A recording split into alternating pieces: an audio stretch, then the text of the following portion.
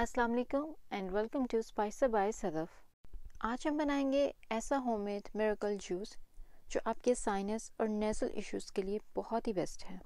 अगर आपको sinus issue बहुत ज़्यादा है तो इस जूस को बाकायदगी से इस्तेमाल कीजिए।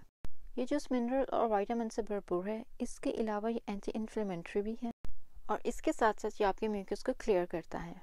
तो चलिए स्टार्ट करते हैं रेसिपी को।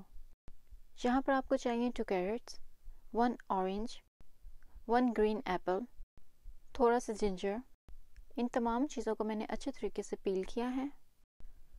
अब हम इन्हें ब्लेंडर में ऐड करेंगे। अब हम इसमें इतना पानी डालेंगे ये अच्छे से स्मूथ ब्लेंड हो जाए।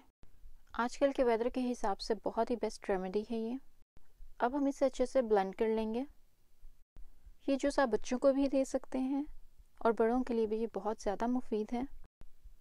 जूस हमारा रेडी हो चुका है, इसे ग्लास में पोर करेंगे। बहुत ही ज़्यादा क्विक और रिफ़्रेशिंग जूस रेडी हो चुका है।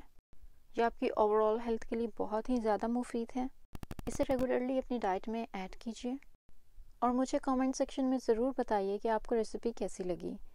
जाने से पहले चैनल को सब्सक्राइब करना ना भूलिएगा। वीडियो को लाइक और शेयर कीजिए।